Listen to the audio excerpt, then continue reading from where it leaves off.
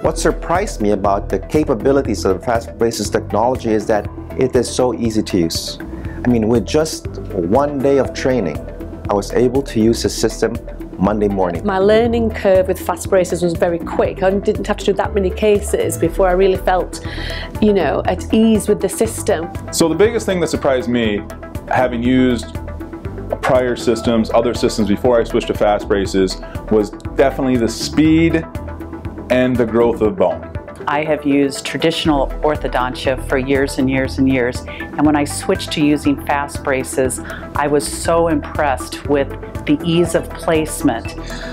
The more I use fast braces, the more impressed I became. And still to this day, it's amazing to see the results from one visit to the next. Fast Braces does it all. You don't have to have any gimmicks, no extra auxiliaries. It all happens just with the basic setup. What Tony promised in terms of what the technology could do, mostly that it would grow bone and it would give patients back their smile. It actually happened.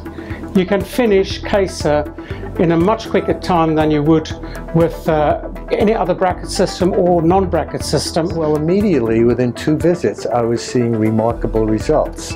And also the ability to start a case on the spot in 10 or 15 minutes was fabulous for case acceptance and for patients getting excited right after the consultation. All my staff members actually do it all.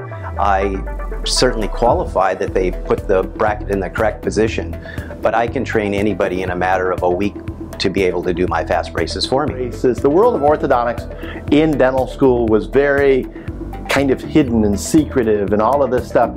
And what Tony did is he simplified it. He made it understandable and made it so practical. Everybody should be doing fast braces.